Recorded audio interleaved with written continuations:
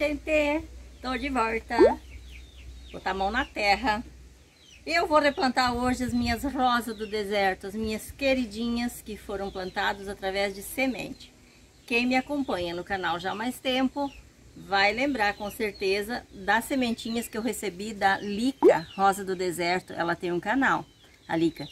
E ela é cuida muito de rosas, ela planta, ela tira sementes, ela, ai, ela, ela é, sim, expert no assunto. E ela me deu sementes e eu semeei, segui bem certinho as orientações dela, que ela mandou por escrito, né? E aí estão aqui, consegui salvar três pezinhos.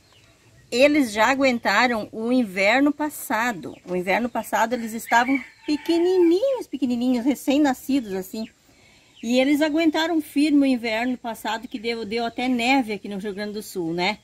Então, agora, nós estamos no, no outono, e eu achei assim que eles, eles estão se desenvolvendo bem, mas que seria a hora de passar para um vaso grande, e aí até o inverno rigoroso chegar, que falta um mês, um mês e um pouquinho talvez, elas já se adaptaram num vaso maior, né? E podem ver até musgo criou ao redor. Ai, eu adoro quando cria musgo ao redor. Elas estavam dentro da estufa, né? E eu acho que eu vou levar de volta para lá. Eu só trouxe para cá para fazer o replante e vou levar de volta. Peguei três vasos que foram feitos no canal também, já velhos de guerra, já faz tempo que eu tenho. Tirei o que tinha neles para plantar as rosas do deserto, que são os vasos já bem especial para rosa do deserto, né? Aqui, gente, por opção, eu coloquei argila expandida no fundo, para dreno. Mas quem não tem argila expandida, pode ser brita, pode ser essas, esses suportes para ovos, picar eles bem e fazer uma camadinha bem, bem generosa ali no fundo, né? Que tá belezinha também. E tem outras opções também para dreno. E aí o substrato eu já deixei pronto aqui. Eu peguei terra vermelha aqui do sítio. Eu botei um pouco de substrato pronto que eu comprei, que eu sempre tenho em casa um pouco para algumas ocasiões, como essa aqui, né? O, a palha de arroz carbonizada. Eu botei bastante areia aqui junto. E também, o que, que mais? Ah, carvão. Pedaços de carvão. Cinza, eu botei um pouco também.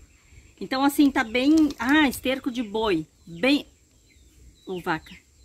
Ou terneiro. não sei. Esterco de gado, gente.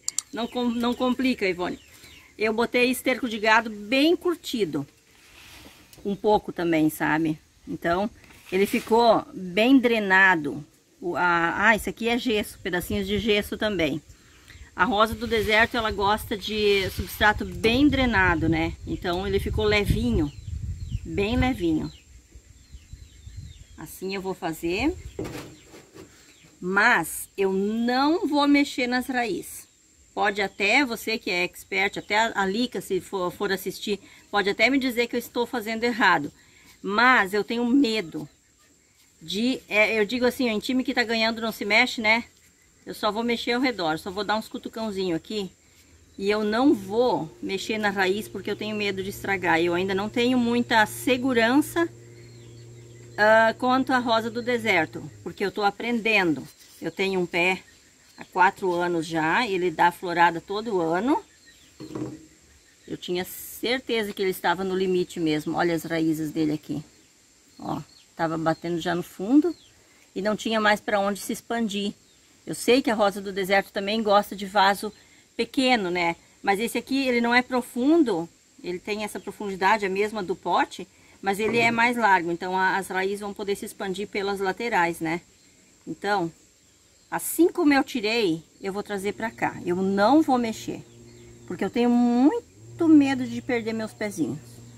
Então, eu vou só fazer isso aqui, não vou também botar muita terra ali ao redor. E deu. Depois eu vou botar umas pedrinhas para enfeitar. Só isso. E eu vou fazer assim com os três eles estão criando tronquinho, gente. Ai, que felicidade. Sabe quando a gente fica assim, com aquela paciência e ao mesmo tempo aquela ansiedade, meu Deus do céu, todo dia eu vou na estufa, eu tenho que trabalhar por lá, todo dia eu tô lá na estufa e olho elas e eu penso, não vou tirar vocês daí, vocês vão ficar aí no, no cantinho de vocês, onde vocês nasceram, vocês vão ficar. Porque, sabe aquele medo de tirar do lugar e elas já sofrer, sabe? Porque Rio Grande do Sul é Rio Grande do Sul, né? Então, as plantas aqui para se adaptarem e ao mesmo tempo para logo se assustar, levar um susto é fácil, não precisa muito.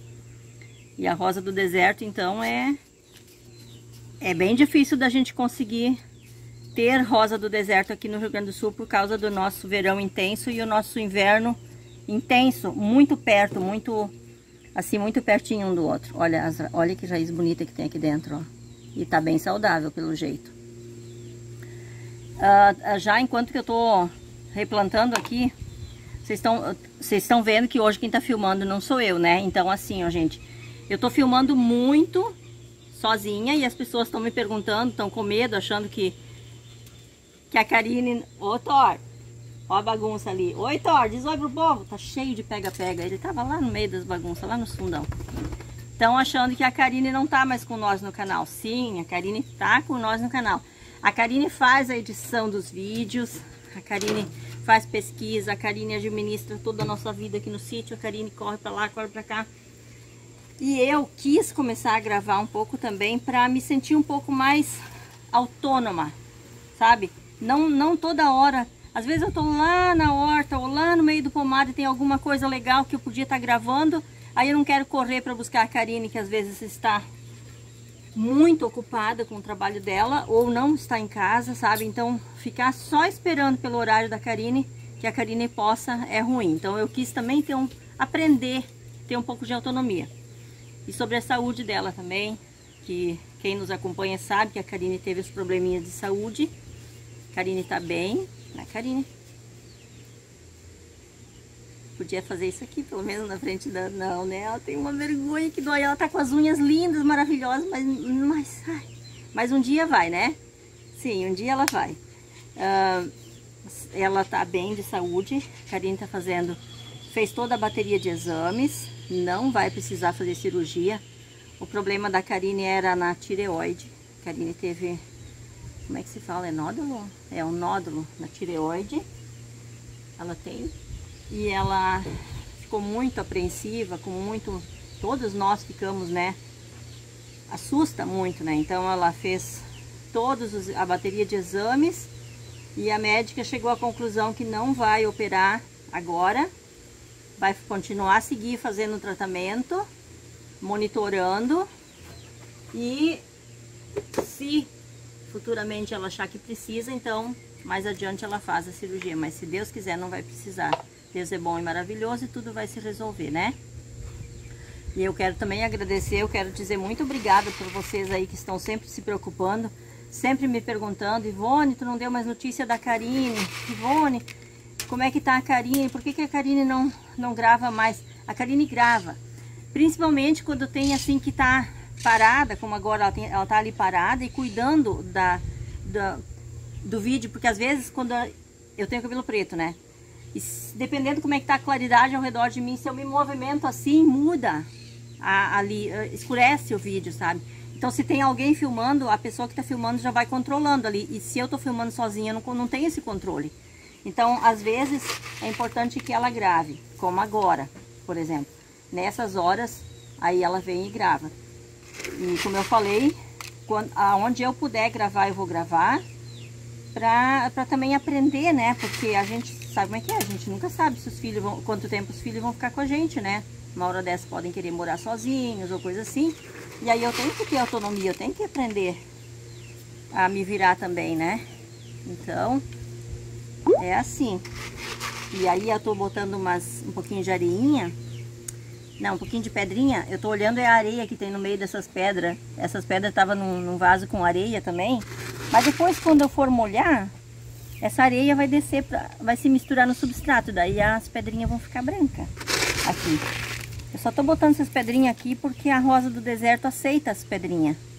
Tem muitas espécies que não gostam dessas pedrinhas, sabe? Eu já tirei, eu já tinha colocado pedrinha no abacaxi ornamental, aquele pequenininho, e ele não ia pra frente, ele não gostou das pedrinhas. Daí eu tirei as pedrinhas e ele tá crescendo lindo. Então eu tô assim monitorando, não é todo lugar que eu vou botar pedrinha. Nubi, vem cá. Thor, vem. Eles já estão de casaquinho, gente. Olha ali. Só que eles estão correndo pra lá e pra cá, daí enroscou pra cima um pouco. Estão desde ontem já com os casaquinhos deles. Aqueles que eu fiz no canal, quem, quem me acompanha, ó. Tá aí, essa semana entrou o vídeo como fazer essa, esses coletinhos pra eles. A gente já tá acostumando agora, porque durante o verão a gente não bota casaco nos cachorros, né? Roupinha neles. E aí a gente começa a acostumar eles agora, quando as noites são frias, com os tecidinhos mais fininhos. E daí quando chegam as noites muito frias, eles não vão estar tá tirando, se sentindo mal, eles já estão acostumados com a segunda pele deles, né? Pessoal, não é difícil de cuidar da rosa do deserto. Eu achei, quando eu comprei meu primeiro pé, eu, eu fiquei assim, ó, eu tava num zelo com aquilo ali, carregando para lá e para cá, cuidando. Mas não, gente, não, não, não se preocupem. A rosa do deserto, ela vai se acostumar com o ambiente. Então não adianta, não precisa se preocupar de, ah, eu preciso dar duas horas de sol, três horas de sol, uma hora de sombra, exemplo, né? Não, deixa ela pegar um pouco de sol e um pouco de sombra durante o dia e acabou. Se deixar totalmente na sombra, sim, ela não vai gostar. Mas uh, ela vai se adaptar. Isso eu percebi. Tanto é que eu tô aqui, ó, de semente com três pezinhos. Não sei nem que cor que são essas flores. Então eu tô assim, ó, meu coração tá fazendo, ó, tum, tum, tum, tum, tum, tum. Não vejo a hora deles crescer e dar umas flores pra gente saber que cores que eles são. Pessoal, então o vídeo de hoje era esse. Não tem fórmula certa para a gente ter as coisas. Cada um vai arriscando, desenvolvendo, claro, buscando bastante informação, é óbvio, né? Porque a rosa do deserto não gosta de substrato compactado, pesado, né? Então, sendo leve e tendo nutrientes para ela e não deixando ensopar, um dreno bem bom, não deixar ele ficar ensopado, perfeito, ela vai se adaptar e vai amar. E vamos abraçar essa causa, porque essas meninas são lindas demais, né? Um grande abraço a todos e até o próximo vídeo, se Deus quiser.